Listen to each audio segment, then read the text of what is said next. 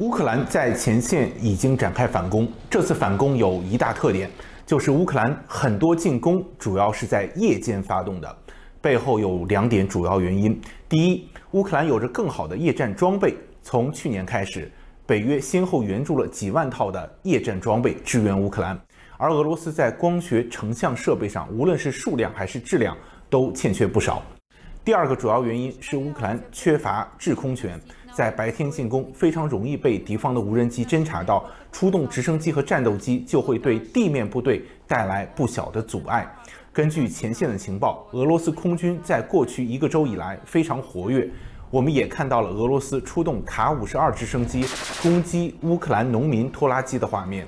那这就是乌克兰为什么如此渴望取得西方战机的重要原因。乌克兰国防部长在五月底表示，乌克兰可能大约需要一百架西方提供的先进战机，其中主要以 F 十六为主。英国和荷兰已经成立联盟，计划向乌克兰提供 F 十六，而目前美国已经同意向乌克兰提供 F 十六战斗机。在之前的节目中，我们分析过。其实几个北欧国家自己凑一凑，不需要美国人出手，就可以为乌克兰提供至少一百架以上的 F 十六战斗机。比如说挪威，他们的 F 十六战斗机已经退役了；丹麦，他们的 F 十六战斗机今年夏天退役；荷兰今年年底开始退役；比利时的战斗机明年开始退役。那这四个国家，荷兰、丹麦、比利时、挪威，他们的 F 十六战斗机加起来大概有一百三十架左右。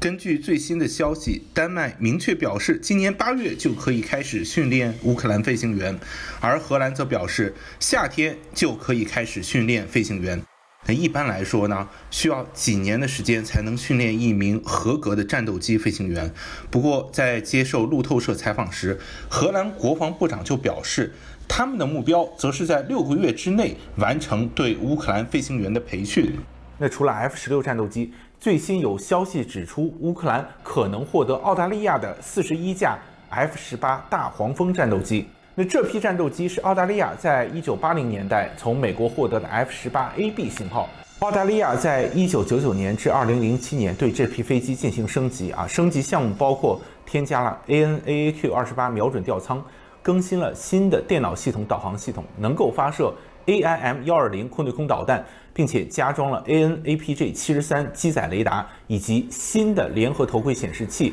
和 ALR 六十七雷达报警接收器。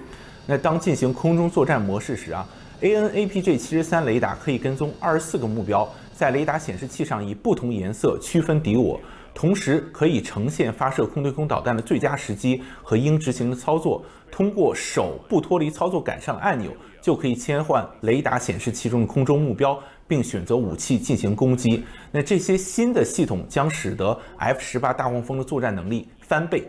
澳大利亚这些战斗机其实在2018年就全部退役，进入了封存状态。那和北欧国家一样。澳大利亚之所以退役 F 十八战斗机，是因为获得了更先进的 F 三十五。这些战斗机早在二零一八年、二零二零年的时候就已经被澳大利亚人给卖掉了。比如说，二零一八年，加拿大当时就从澳大利亚购得了二十五架 F 十八，所以最后剩下这四十六架 F 十八战斗机留存在澳大利亚的威廉斯顿皇家空军基地进行封存。在两年之后，二零二零年的三月。澳大利亚国防部宣布，将这四十六架已经退役的战斗机出售给了美国的一个私人公司，而这些战斗机将在未来三到四年里进行检修和翻新，交给新客户。那很多朋友会有一个疑问：这飞机已经卖给别人了，怎么又能交付给乌克兰呢？那其实买这四十多架战斗机，它这个私人公司叫做。Air USA 这个名字起得非常霸气啊，但它其实是一个私营公司，并不是美国空军官方。这个公司的主要业务是空战训练，是美国政府的国防承包商之一，主要其实就是为美国和盟友提供空战训练服务以及假想敌训练服务。那所以呢，作为假想敌训练，使用二手的战斗机成本比较低，是比较合适的。不过，二零二零年签订合同之后没多久呢，我们知道新冠疫情爆发。而这些飞机自2018年退役之后，长期处于封存状态。就算想卖给客户，需要大量的时间进行返修。但是因为疫情爆发，那这些飞机的返修工程也受到了不小的影响。所以目前呢，还没有完全交付给美国的私人公司。那虽然是美国的私人公司购买的，但这间私人公司有着非常深厚的美国政府背景，在美国政府同意的情况下，他们将本来自己购买的 F 十八转交给乌克兰，是一件非常可行的事情。那么，假如 F 十八真能到达乌克兰，会给乌克兰带来什么样的影响呢？